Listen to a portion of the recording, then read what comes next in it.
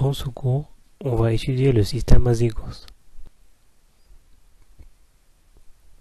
Pour cela, on adoptera le plan suivant. On va démarrer notre cours par une introduction, puis on va étudier la grande veine azygos, puis la veine hémiazygos et la veine hémiazygos accessoire. Et à la fin, une petite conclusion.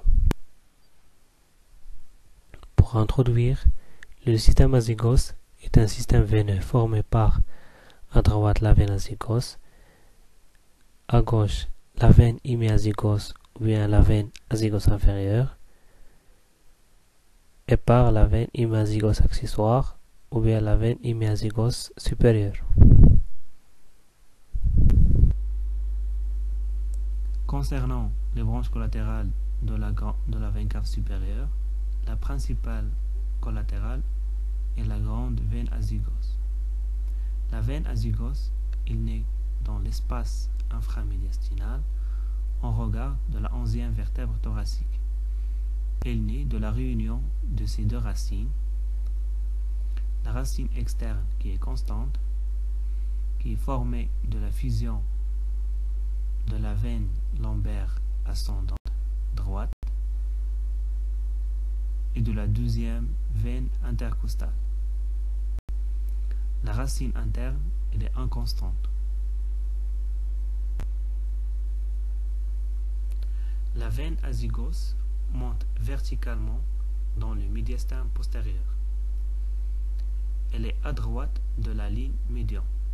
Au niveau du deuxième espace intercostal, elle s'incurve en avant et formant l'arc de la veine azygos.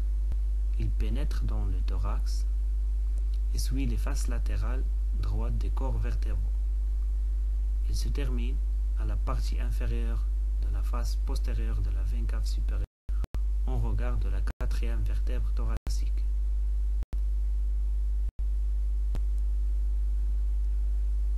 La veine azygos a une longueur de 20 à 25 cm et un calibre de 4 mm à l'origine et de 2 mm à la terminaison. Il répond de son origine à sa crosse, à gauche au conduit thoracique, plus loin à la horte descendante, à droite elle répond à la plèvre et au poumon droit, en arrière elle répond au rachis thoracique, elle répond aussi au vaisseau intercostaux droit, en avant, elle répond à la racine du poumon. Donc, elle répond à la racine du poumon. À droite, elle répond à la plèvre pulmonaire droite et au poumon droit. En haut et à gauche, elle répond à l'œsophage thoracique et au nerf vague droit.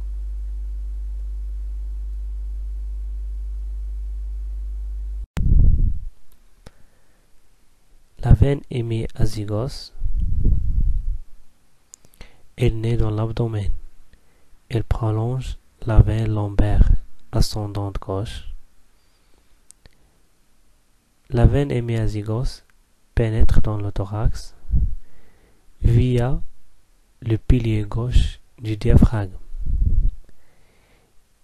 Elle monte le long de la face gauche des vertèbres thoraciques et s'enfléchit à la hauteur de la septième vertèbre thoracique et elle passe en arrière de l'aorte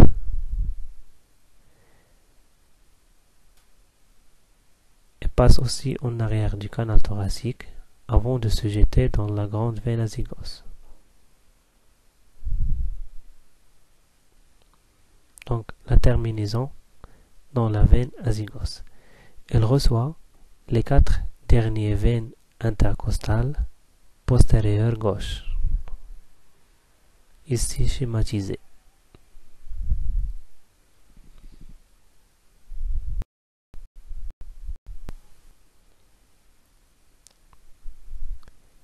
Concernant la veine hémiazygos accessoire, elle descend sur la face gauche des vertèbres thoraciques supérieures. Elle descend jusqu'au niveau de la septième vertèbre thoracique. Elle s'enfléchit à droite et elle passe en arrière de la horte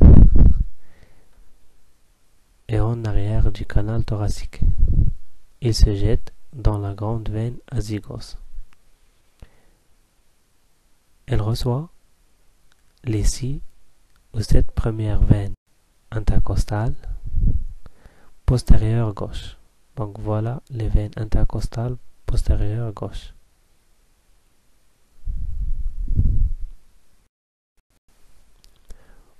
En guise de conclusion, le système azygos forme un système anastomotique entre les veines caves supérieures et inférieures.